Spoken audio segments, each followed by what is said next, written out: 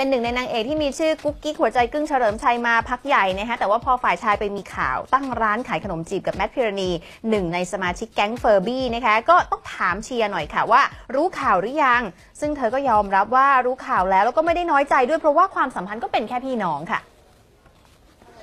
เชียร์ขอสวยๆหน่อย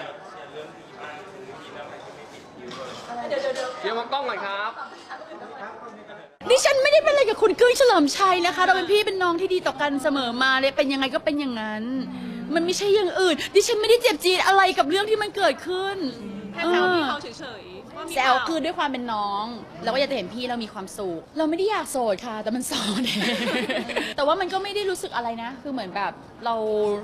ทำงานเราทำอะไรมันก็โอเคแฮปปี้ดี ได้มีโอกาสเจอคนเจออะไรอย่างเงี้ยค่ะ แต่ว่าคือความพอดีมัน มันมันเป็นเรื่องที่ไม่ง่ายอะเนาะมันเป็นเรื่องไม่ง่ายจริงๆ คือฉะนั้นแล้วแบบ เราก็ชิวๆไป ครอบครัวเราเราอยู่ด้วยกันมันมัน happy แล้วมันไม่ได้มี moment อะไรที่รู้สึกแบบโหยหาความรักความเมตตาอะไรอย่างเงี้ย ส่วนอาการป่วยเนื่องจากโหมงานหนักนะครับ ตอนนี้เชียร์เผยว่าดีขึ้นแล้วไม่มีอะไรน่าเป็นห่วงครับ